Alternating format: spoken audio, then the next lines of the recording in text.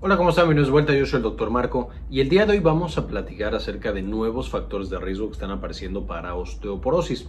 Por supuesto, ya hemos platicado de algunos de los principales en un video previo eh, de señales que predicen que una persona va a tener osteoporosis, cosas como uso de medicamentos, bajo niveles de calcio y vitamina D, eh, algunas cosas ya de la persona, etcétera, etcétera. Pero ahora en un congreso internacional llamado EULAR, que son los principales congresos acerca de enfermedades inmunológicas, se ha presentado un estudio, un seguimiento que se le hacía a mujeres italianas en las que se presenta que las mujeres que estaban expuestas a niveles elevados de contaminación, particularmente de PM2.5, que ya hemos platicado de este tipo de contaminación y los efectos deleterios que pueden tener sobre la salud, que en la parte de arriba les voy a dejar algunos enlaces a estos otros videos hablando de cómo podrían llevar a enfermedades eh, eh, neurodegenerativas como Alzheimer, enfermedades del corazón, etcétera, etcétera.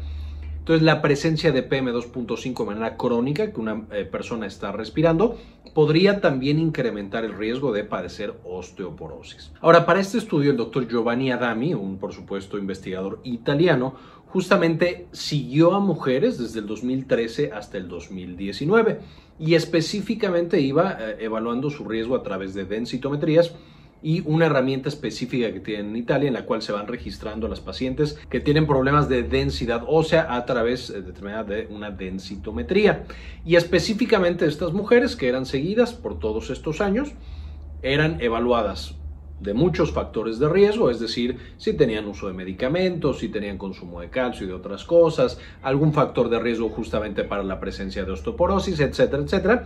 Pero además, se controlaba para dónde vivían estas pacientes. Si eran pacientes que vivían en un medio rural que tiene un nivel bajo de contaminantes PM2.5 era una persona que vivía en un medio urbano o una persona que vivía en un medio urbano y cerca de vías de transporte grandes e importantes. Adami consiguió en el estudio fueron 59 mil mujeres italianas. Aquí por supuesto podemos debatir un poquito si en otras partes del mundo con otros factores de riesgo van a tener más o menos riesgo de eh, fracturas y por supuesto de osteoporosis. Sin embargo, 59 mil mujeres italianas nos dan mucha información acerca de mujeres en otros sitios.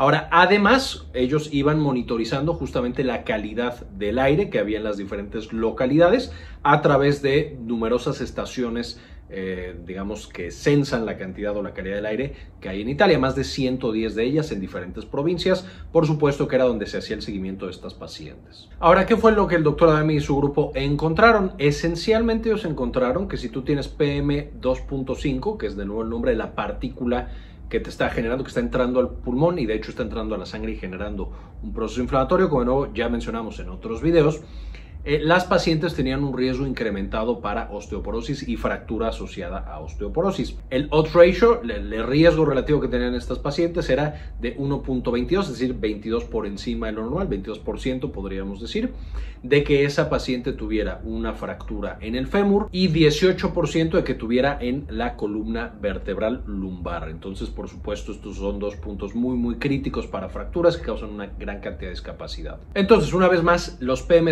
PM2.5 cuando están por encima de la concentración de 25 microgramos metro cúbico, que no es la cantidad de partículas sucias que hay en cada aire que nosotros respiramos, se daba este incremento. Sin embargo, en otro tipo de partículas, PM10, que son más frecuentes todavía, también encontraron un riesgo incrementado. Este PM10, más de 30 microgramos metro cúbico, se encontraba un riesgo incrementado también para fémur, eh, fracturas de fémur y fracturas lumbares, siendo 1.15 para fracturas de fémur, como 15% por encima del 1, y por supuesto 1.17 para lumbares. Es decir, se incrementaba también con este otro tipo de contaminante que es más frecuente todavía, PM10 de lo que es PM2.5, aunque una vez más PM2.5 era el que más incrementaba el riesgo de osteoporosis, PM10 también lo incrementaba.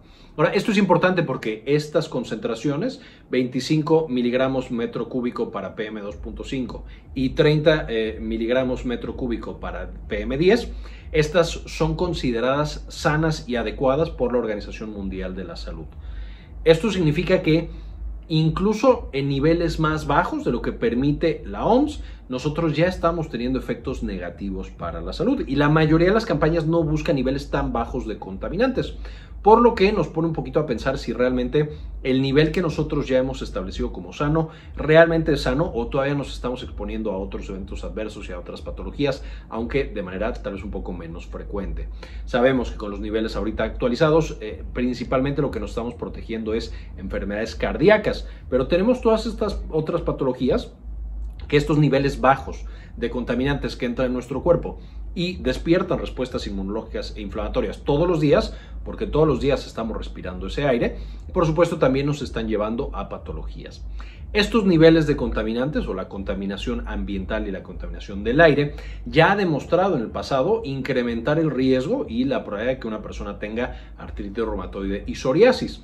Eh, justamente mostrando el efecto que pueden tener sobre nuestro sistema inmune y el, eh, el, desastre que pueden llegar a ser en él y que por supuesto nos puede llevar a incluso este tipo de enfermedades siendo más agresivas. Hace mucho tiempo también ya platicamos de algunas de las ciudades de América y cuál era el nivel de contaminantes, cuáles estaban en el nivel seguro de acuerdo a la OMS y cuáles pasaban este nivel seguro. Les voy a dejar también el, el, video en la parte de arriba. Sin embargo, recordar que muchas ciudades de América están por encima de este nivel permitido por la OMS y que de nuevo aquí se está demostrando que ese nivel permitido todavía está generando eh, problemas justamente con eh, la salud de los individuos que viven en estas ciudades. La afección a la salud que nosotros nos estamos exponiendo, por supuesto, vuelve cada vez más grave, no va a haber cada vez más personas metidas en este tipo de urbes. Y por supuesto esto nos empuja todavía más a buscar que las ciudades tengan aire más limpio a través de ser más estrictos en las emisiones que pueden tener los autos y por supuesto la migración lo más rápido posible